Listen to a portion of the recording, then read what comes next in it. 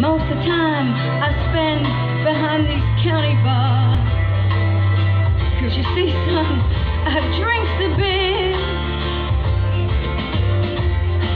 He shook his head, and as he shook his head,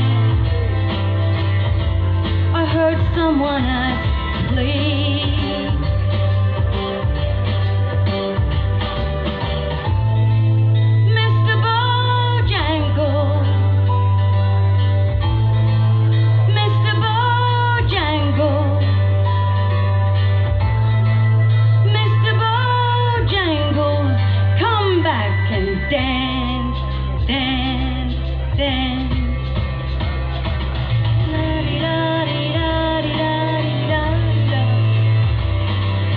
think that's enough. Um,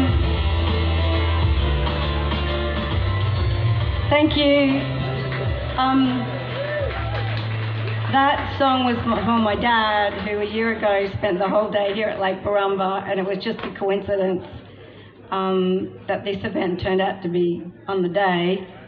Uh, about six months before that, um, I sent a little demo over to my dad, and he goes, "Oh, you need some work done, Murray." And then sadly, he died suddenly three months to the day from being here a year ago. So that's why I didn't want to mess it up. So I hope I entertained you. And welcome to Lake Borumba and welcome to Woodstock. Thank you. Oh,